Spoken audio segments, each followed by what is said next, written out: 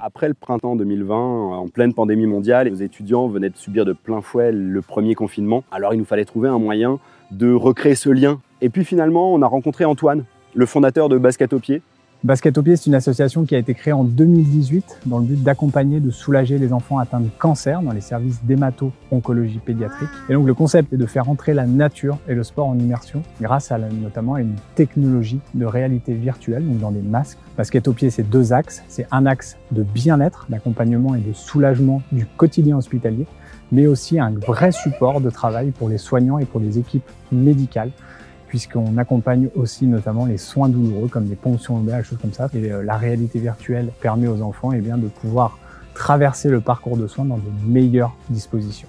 On a nous aussi eu envie de s'engager dans cette aventure, une aventure qui avait du sens et qui s'inscrit parfaitement dans le volet RSE de nos formations chez Winsport School. Le premier projet Win s'engage national était né. On a réuni 700 étudiants de nos 21 campus partout en France, des étudiants de première et deuxième année, autour d'un projet de sensibilisation en trois temps pour récolter des fonds pour basket au pied.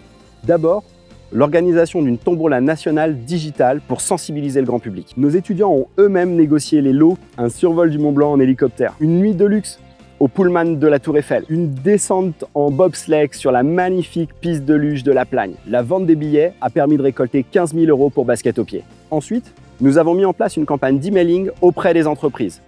Nous leur avons parlé des actions de basket au pied, des enjeux du RSE pour les entreprises, mais également des dispositifs de dons aux associations. On a réussi à atteindre 3500 entreprises et avons récolté 25 000 euros pour l'association. Enfin, un run solidaire. Ça nous a permis d'engager les étudiants à bouger à nouveau ensemble et ça a été un super clin d'œil pour les petites filles et petits garçons qui se battent chaque jour contre la maladie. En cumulé, sur les 21 campus, ce sont 6000 km qui ont été parcourus. Quelques mois plus tard, les trophées sport et management ont été une formidable occasion de mettre en lumière à la fois les actions de nos étudiants en faveur de basket au pied, mais également les projets Win s'engage. Chaque année, on vient mettre l'accent sur une cause sportive et managériale. Avec les équipes des 21 campus, nos étudiants ont prouvé que le management du sport formait de vrais professionnels, mais également de vrais citoyens. Le management du sport est souvent regardé de haut par les entreprises. Pour nous, l'aventure des trophées sport et management, c'est une formidable occasion de prouver ce que le sport et le management sont capables de faire. Comme les trophées, nous faisons la part belle aux passionnés de sport et nous accompagnons les athlètes en reconversion ou non tout au long de leur double projet.